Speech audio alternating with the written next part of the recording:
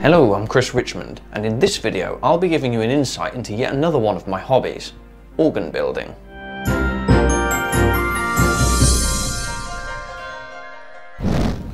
Now, organ building is something I fell into several years ago when I restored an old 19th century reed organ, a story in itself, which I'll save for another video. In 2016 I began building my own organ, but it's nothing like this one. My self-build is actually a mechanical organ, the sort that plays itself from music punched onto paper. So what made me go and build that?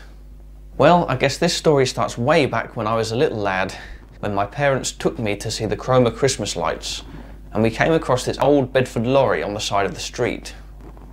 Inside it was this large colourful thing with all sorts of different sounds coming out of it. Of course, it was Teddy Cushing's Bursens street organ, and that was my inspiration. Fast forward about 25 years, and I happened to see the same organ in Blakeney, and I had the opportunity to see how it works.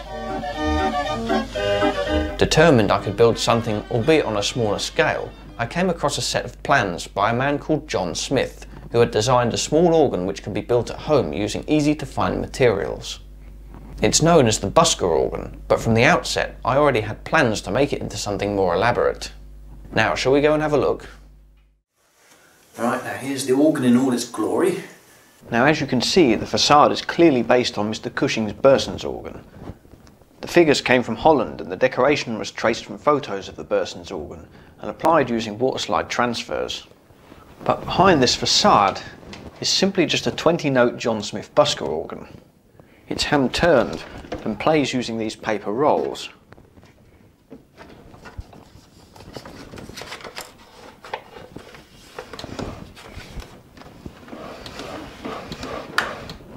However, unlike most busker organs, mine actually has two ranks of melody pipes, an idea designed by a chap called Melvin Wright.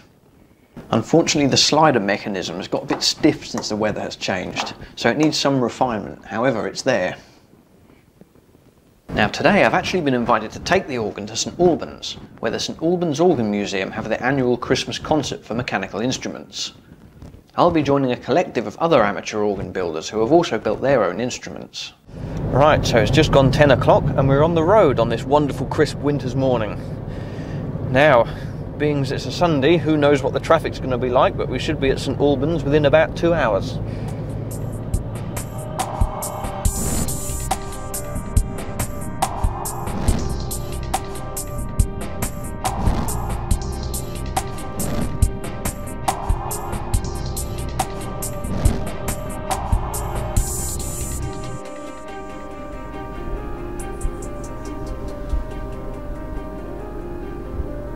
On arrival, I meet museum volunteer and concert host David Dingwall, who explains a little more about the event.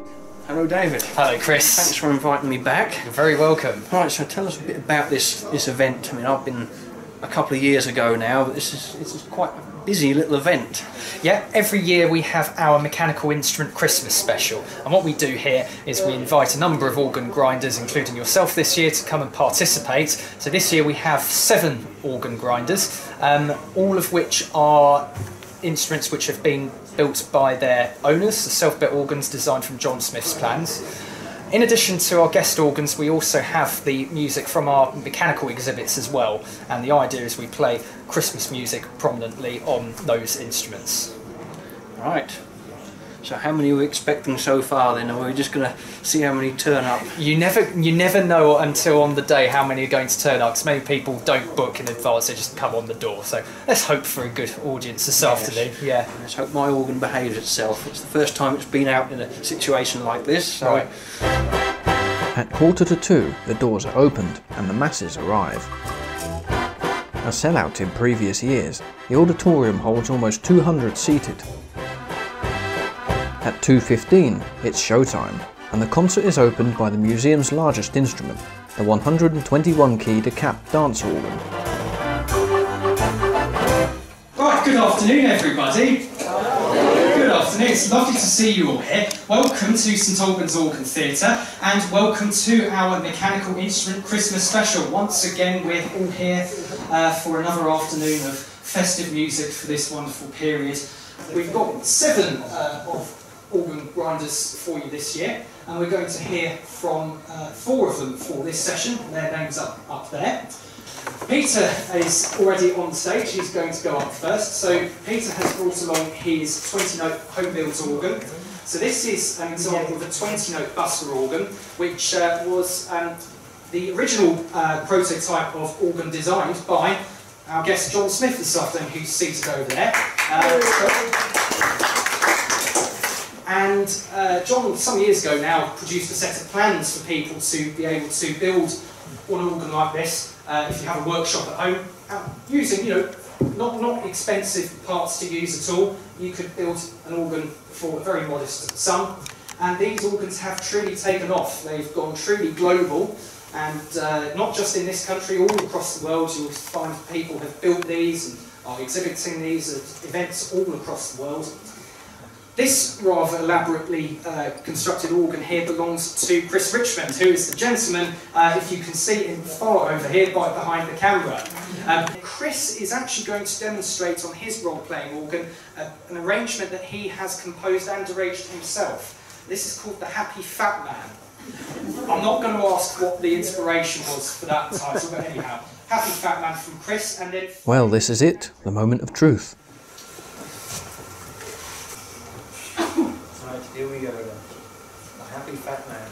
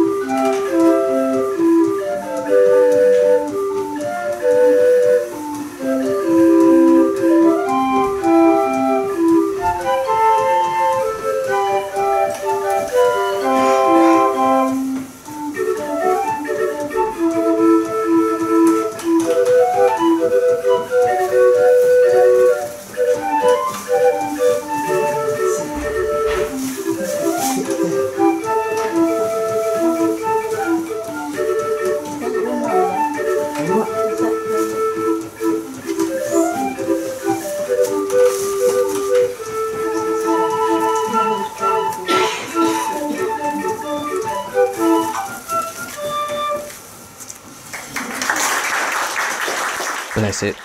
The organ did well, but it isn't a patch on the instruments made by the more advanced home organ builders, such as Terry Pankhurst or Robert Ducat Brown.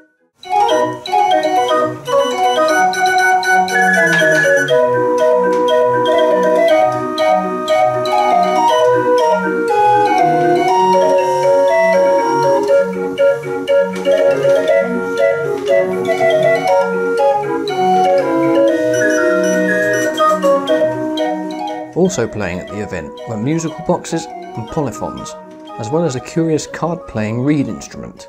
And we've got a rendition here of the concert waltz The Blue Danube, a shortened down version, and bearing in mind this is done on just 14 notes.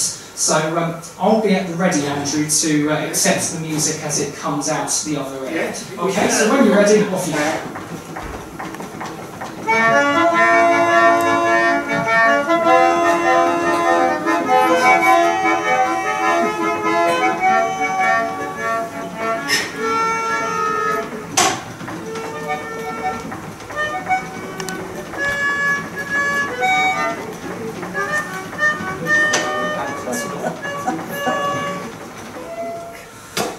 There's always the odd technical mishap. These mechanical organs all have their quirks, but that's part of the fun in this hobby. At 5 o'clock, it's all over, before I start my two hour journey back to Norfolk.